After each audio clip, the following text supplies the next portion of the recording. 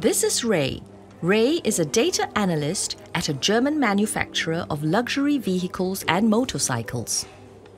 In her job, Ray often needs to answer questions such as Where can I find information about the types of vehicles we produce? How can I find out which suppliers we use for wheels?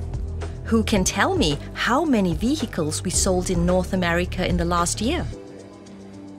But to get this information, Ray needs to access hundreds of individual systems and applications and manually compile this data. Sometimes she does not even know which applications to look into, so she asks Rob, another data analyst who's been with the company longer. But that's not always helpful. Ray is often left more confused than when she started. That's because she and Rob don't always speak the same language, at least not semantically.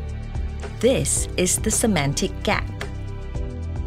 So, what if we told you that Ray's organization can go from static, isolated systems to a flexible, integrated enterprise information architecture that empowers its members to quickly and efficiently find accurate, precise answers to their day to day questions?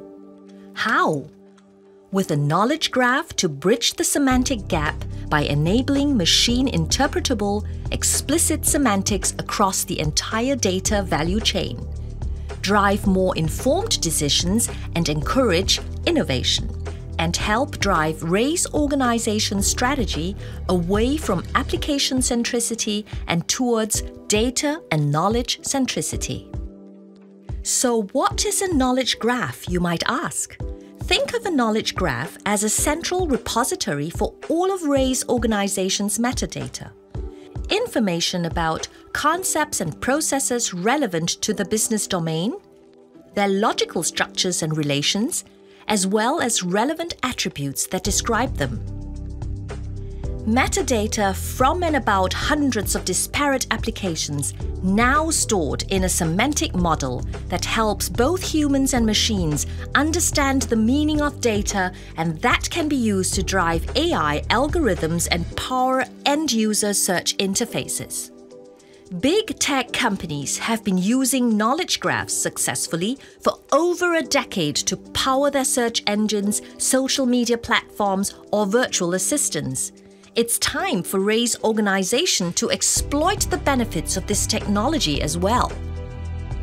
For Ray, this means that her organization's information is easily accessible to her via a uniform, centralized user interface where she can find all the answers she is looking for.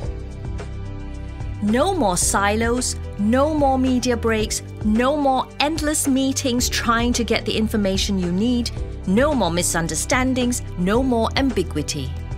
So Ray can shine in her job